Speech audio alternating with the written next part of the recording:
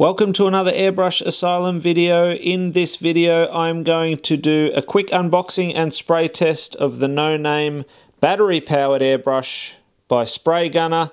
Let's get into it right now. So as you can see it comes in this nice box.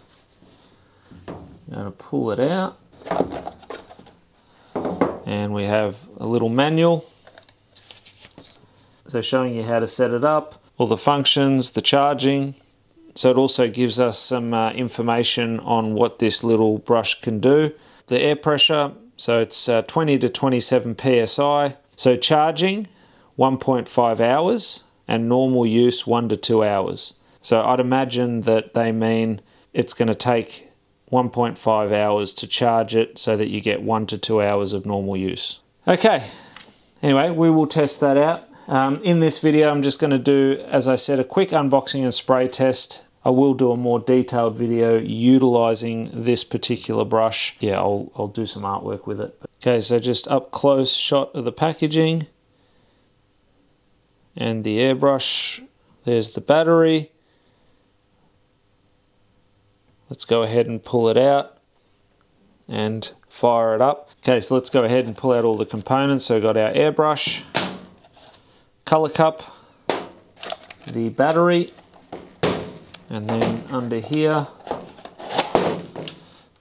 we're going to have another color cup which is kind of cool so see-through one screws in with a nice lid seals up nicely so obviously if you want to do some uh, larger canvases or something then you could utilize this just have to see how the air pressure handles that the battery where you hook it up to charge. So there's the cable to charge it with. As I said earlier, USB type C.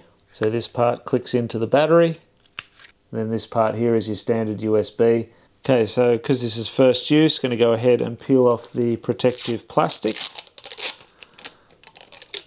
And it's got the little warning label there. Water wash not allowed, no warranty if water in. So that's pretty informative for you. So there's the battery. Obviously the connector there, which will hook up to the bottom of the airbrush. So it'll hook up into that section there. So let's go ahead and do that. Doing it by hand.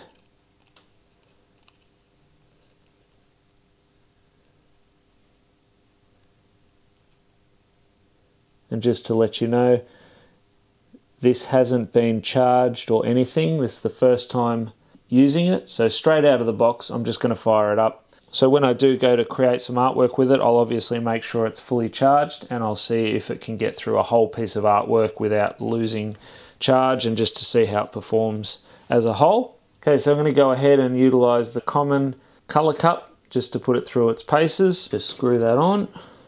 Okay, so you can see the indicator lights there to show the battery level. So I'm just going to click that button once just to show you and it's saying it's fully charged. So the other thing that I noticed is that you can even just press down for air and that'll straight away turn the unit on. All right, so let's uh, go give it a go so you can hear it, you can hear it working. Okay, so I'm gonna go ahead and remove the air cap for the purpose of this test.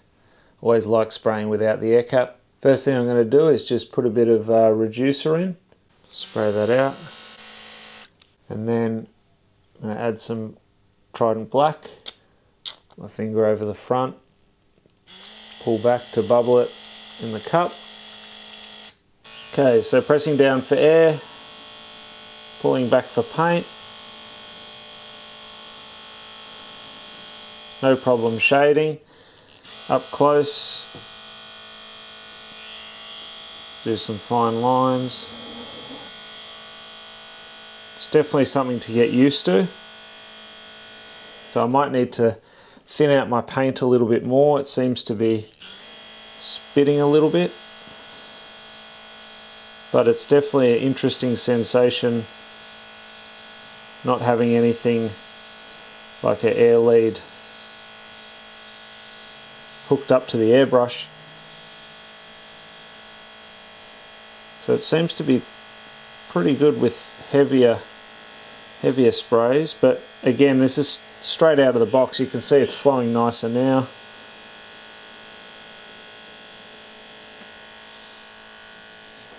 Yeah, it's a bit better. Let me just go ahead and put some reducer in that. So I'll add some more reducer.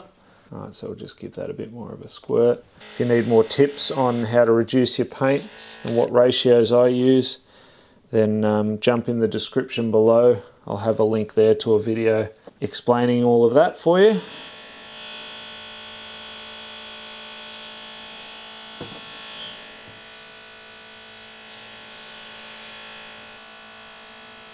Yeah, it's better.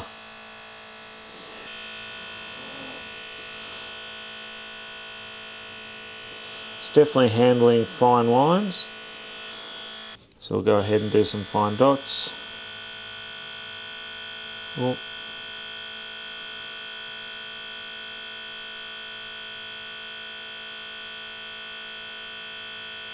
So keeping that air press down at all times.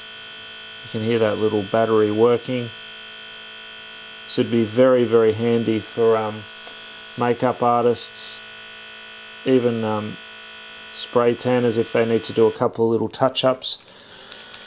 Okay, let's see how it goes if we do a bit of a heavier spray. Let's try and coat that. So we'll put it under a bit of uh, strain. Obviously, um, because it's running at such a low PSI, it's going to take a little bit more to cover. You know what, that's still pretty generous.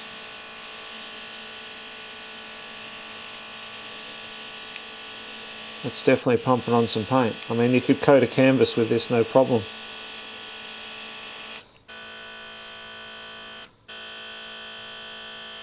So definitely excited to do an artwork with it and see how it really performs.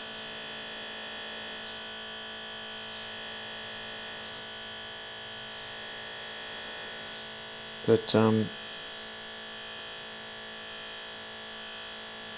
I mean, it's just such a fantastic idea. You don't need a compressor.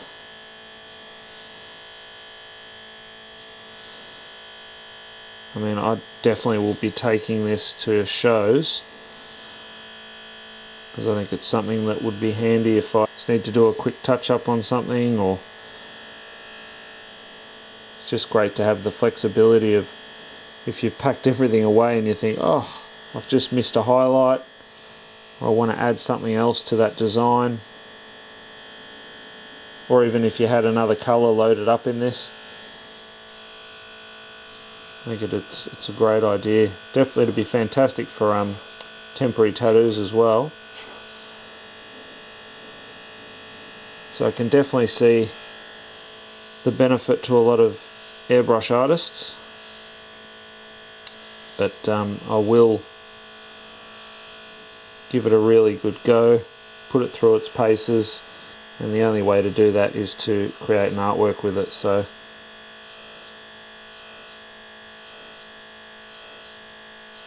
definitely keep an eye out for that video.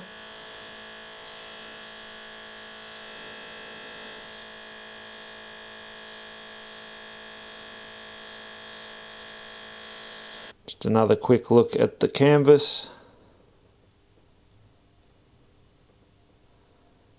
So also a bit of getting used to because I'm holding on to that uh, battery pack. It's not too bad actually, it kind of gives you a little bit of comfort. So check out some of the other videos and playlists that I've got listed here.